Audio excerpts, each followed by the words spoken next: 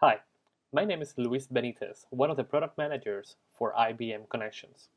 This video shows some of the new features in the July 2013 update of the IBM Connections iPad app. Let's begin. In my activity stream, I can stay up to date with my organization and provides transparency as to what's going on. Tapping on an update allows me to act on it immediately. In this case, it looks like a new customer presentation is ready.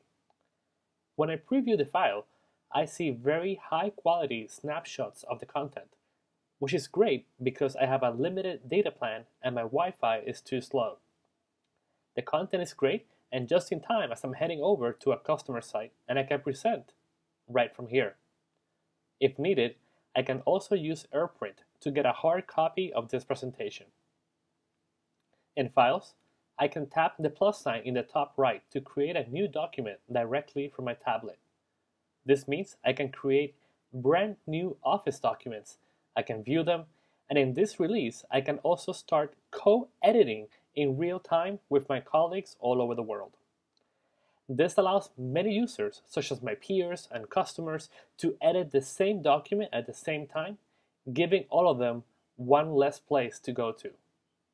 Because it's part of the IBM Connections app, the file never leaves the secure container. It saves me money as I don't have to buy a third-party app. As usual, all files downloaded into the device are encrypted, and the Connections administrator can issue a remote wipe command in case my device is lost or stolen. This is file sharing ready for the enterprise, all from my own tablet. To learn more about IBM Connections, go to ibmcloud.com/social.